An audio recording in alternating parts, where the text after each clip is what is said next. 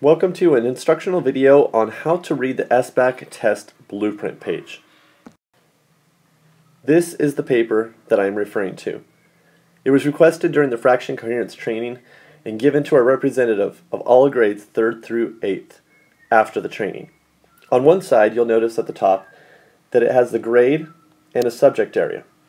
I photocopied them in a way that math would be on one side and ELA would be on the other.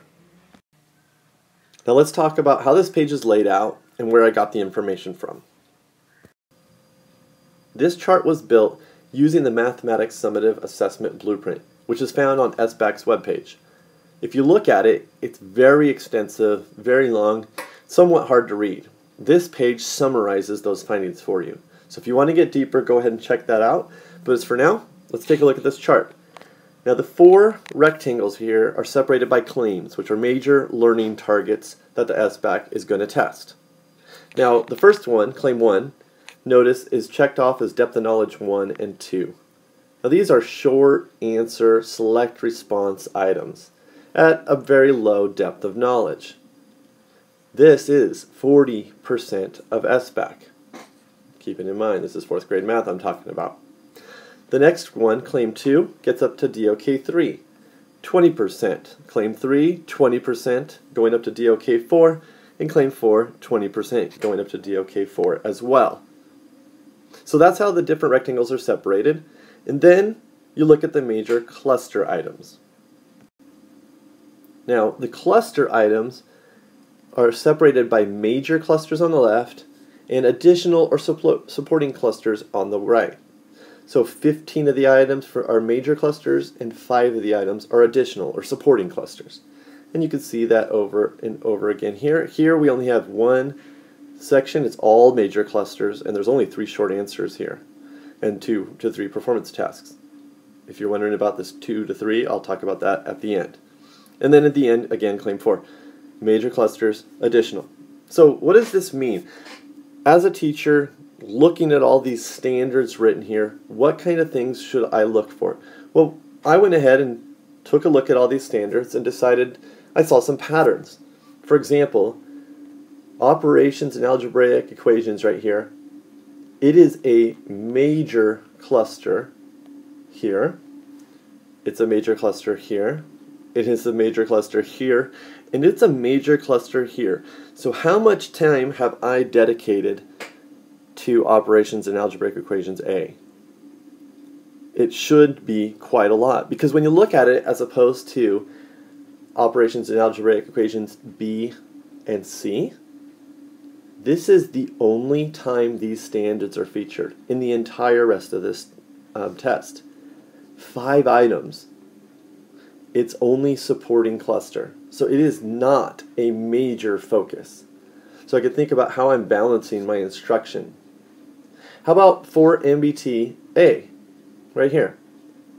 It's featured nowhere else on this entire page, but it is a major cluster, but at a very low level, right? My students will probably have multiple choice questions based on this standard. Okay, on A. Now B, for NBT B, that is featured again here and again here.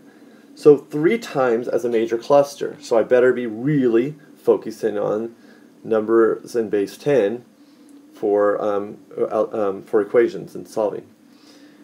And then what about um, N, F, A, B, and C? I have numbers of fractions, A, B, and C. Number of fractions, B, A, B, and C. Number of fractions, B. It's featured in every category on the major cluster side. So, fractions. How much am I focusing on fractions during the year? It better be tons. And in fact, I have it leading all the way up right to the test. So I feel like it's the most freshest standard that the students have been focusing on. All right? What about the ones that are not featured so much? That's a good pattern to look at as well. Look at measurement and data. I have some here, you know, five items, a minor cluster. Again, additional cluster, and again, in the additional supporting cluster. So does it happen a lot? Yeah, it does, but it's a secondary cluster. So it's going to be supplementative to what other things are being asked. It's secondary. And how about geometry? So we have uh, suggested by curriculum like a full month of geometry, maybe even longer. It is right here, and it is nowhere else on this page. It's only going to be tested at very low levels of knowledge, depths of knowledge, and it's in the five items for additional clusters. So is spending a month, month and a half on geometry as important as making sure that fractions are a major focus? I keep pointing to the wrong one. These three. So I'm going to go ahead and make sure, as I plan for geometry, that I am not focusing on making sure I get to DOK 4 unless 1 and 2 are achieved really well. So I hope that gives some advice on how to look at this. Now the last page that I have to show for you here is a focus on the bottom. Now they did a little bit of a summary here for you. Major clusters, minor clusters. Now you can see that geometry written here for you. You can see the fractions is a huge focus here. Now, this is summarized a little bit for you to help you see where you should focus, um, spend most of your time. Now, there's something I had to address, the performance tasks. It says two performance tasks. It says above two to three performance tasks. I know there's only one performance task. So is this chart finalized and completely accurate? obviously there might be some things that have to be changed on it. So I know that the Mathematics Summative Assessment Blueprint was updated in February, so it's very recent on SBAC. And this page was made beforehand, so you might want to compare and see if there's been any changes. But what I'm going to do is feel like this is a flex year. This is another year where our school will not be graded. Students will get recordings, but our school will not be graded on the SBAC findings. So I'm going to go ahead and take the opportunity to see how accurate this chart is. Is it really, for fourth grade math, uh, a major focus that fractions is so heavily featured and geometry is just a blip on this test? If that's true, when I look and, and watch how students work on their test, then um, it's going to teach me a little bit about um, how accurate this chart was. And then I'll know whether or not it's something I should focus on next year. All right.